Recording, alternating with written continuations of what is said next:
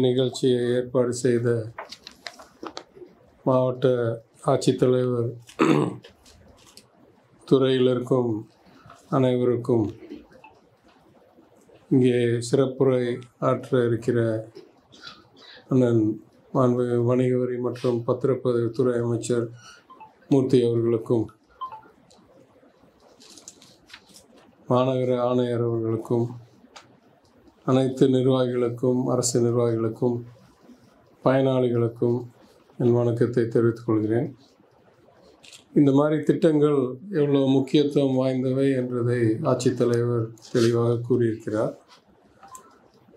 கடந்த சில நாட்களாக நாங்கள் சென்னையில் சட்டமன்ற கூட்டம் அதற்கு பிறகு முதலமைச்சருடைய உலக அளவில் இருக்கிற பொருளாதார ஆலோசகர்களில் சிலர் எங்களுக்கு இங்கே வருகை தந்து எங்களோட பல கூட்டங்கள் நடத்துவதனால் நான் இன்னை தான் சென்னையிலேருந்து விமானத்தில் இன் மதியம் தான் திரும்பியிருக்கிறேன் அவங்கெல்லாம் இதை நம்ம பார்க்குற நம்ம செய்கிற திட்டங்கள்லாம் பார்த்து விட்டு மூணு நாள் கூட்டமெல்லாம் நடத்தி விட்டு கூறுவது தமிழ்நாடு ஒரு மிக சிறந்த இடத்தில் இருக்கிறது. இந்த மாதிரி சமூக நலனுக்கும் சமுதாய ஒற்றுமைக்கும் பொருளாதார நியாயத்துக்கும் சமூக நீதிக்கும் ஒன்றொன்றும் திட்டம் திட்டமாக எடுத்து பா பார்த்தால் எண்ணற்ற திட்டங்கள் இந்த மாதிரி தமிழக அரசாங்கம் தொடர்ந்து செய்து வருகிறது. சில நேரங்களில் செய்கிற மாதிரி சொல்லிட்டு செய்யவில்லை. சில நேரங்களில் கொஞ்சம் கூடுதல் கவனத்தை செலுத்தி செய்து வருகிறது. உதாரணத்துக்கு இந்த உதவி திட்டம் தாலியும் நிதியும் திட்டம் பல வருடங்களாக சரியான நேரத்திற்கு நடத்தவில்லை. அதையெல்லாம் திருத்தும் வகையில் மாண்பு முதலமைச்சர் இந்த பயனாளிகளை உடனடியாக தேர்வு செய்து அவங்களுடைய விண்ணப்பத்தின் அடிப்படையில் அந்தந்த ஆண்டு அந்தந்த பயனாளிகளுக்கு அளிங்க அளிக்க வேண்டும் என்ற ஒரு வலியுறுத்தினால் இவ்வளோ ஸ்பீடாக நாங்கள் பண்ணிகிட்ருக்கோம்.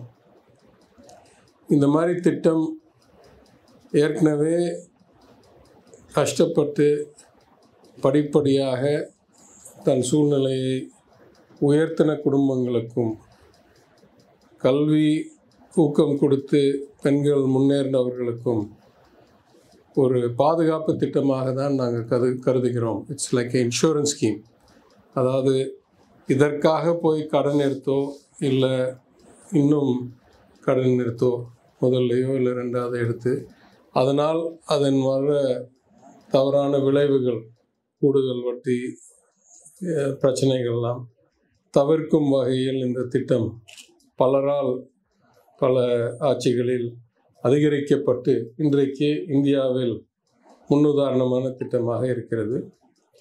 அதே போல் எல்லா நலத்திட்டங்களிலும் இங்கிலீஷில் சொல்லுவோம் சோஷியல் செக்யூரிட்டி அனைவரும் ஒரு அடிப்படை சேஃப்டி நெட் ஒரு பாதுகாப்பு இருக்கணும் என்றதற்காக எடுக்கிற முயற்சிகளும். அதேபோல் மக்கள் நல்வாழ்வுத்துறையில் அதே போல் உணவு துறையில் தமிழ்நாடு ஒன்றிய சராசரியை விட இல்லை பல மாநிலங்களை விட ரொம்ப சிறந்த சூழ்நிலையில் இருக்கிறது. ஆனால் இரண்டு நாட்களுக்கு முன் துறைகள் ஆய்வு செய்த முதலமைச்சர் எங்களுக்கு தெளிவாக ஒரு புது இலக்கை கொடுத்திருக்கிறார். பாக்கி மாநிலத்தோடையோ இல்லை இந்திய சராசரியோடையோ சிறப்பாக இருக்குன்னு சொல்லி இனிமே அது பத்தாது.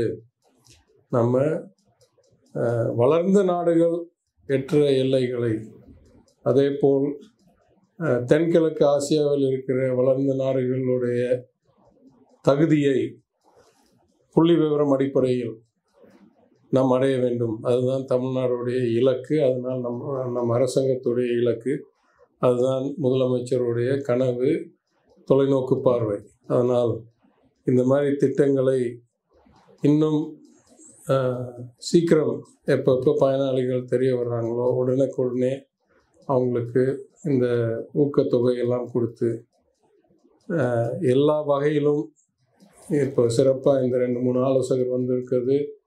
எங்களுக்கு இன்னும் விளக்கமும் தெளிவும் கொடுத்துருக்கிறார்கள்.